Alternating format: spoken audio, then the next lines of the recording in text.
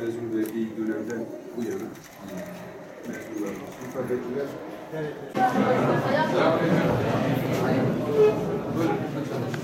Kıymetli gençler, bizi bu nezih okula davet ettikleri için değerli müdürümüze biz de teşekkür ediyoruz, hoş bulduk diyoruz.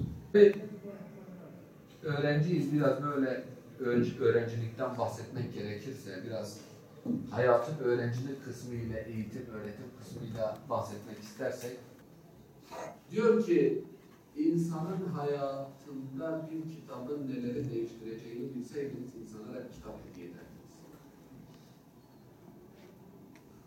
Bunu söylüyor.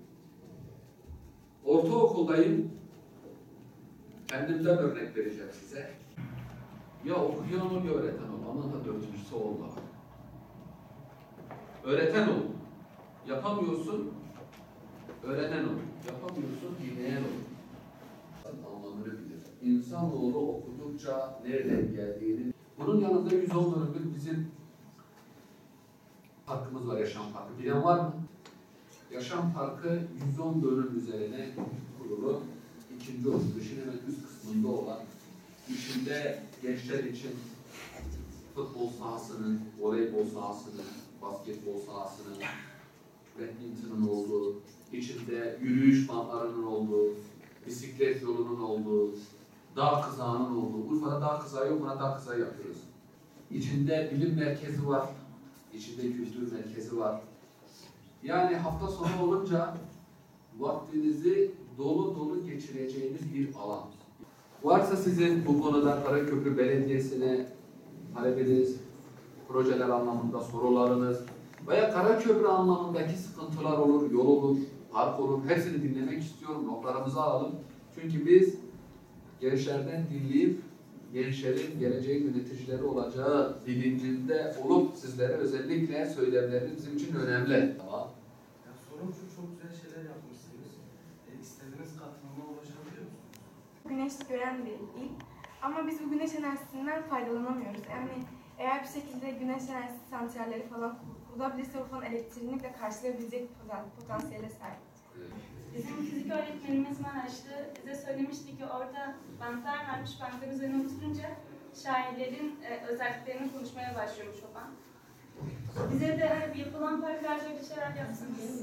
Yaşam parkını da koyalım. Düşünerek yaptığımız çalışmalardan dolayı teşekkür ederiz. Ee, konuşmasından, söyleyişinden dolayı kendilerine teşekkür ediyorum. İnşallah bir daha bir daha aranızda görmek isteriz. istişare anlamında davet ettikleri için değerli okul müdürümüz Ömer Özgür Tekin hocamıza teşekkür ediyorum. Tabii bizim için gençler, öğrenciler olmazsa olmazımız geleceğimizin yöneticileri, geleceğimizin kariyerleri ve bizim bu ülkeyi, bu vatanı, bu milleti sahiplenecek olan bireyler siz gençlersiniz.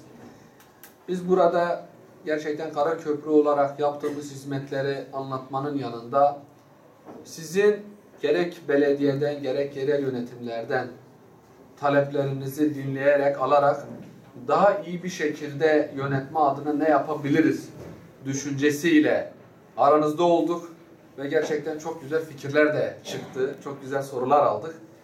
Ben buradan sizlere bu güzel şehri daha güzel bir şekilde yönetme adına fikirlerinizi sunduğunuz için teşekkür ediyorum sizlere.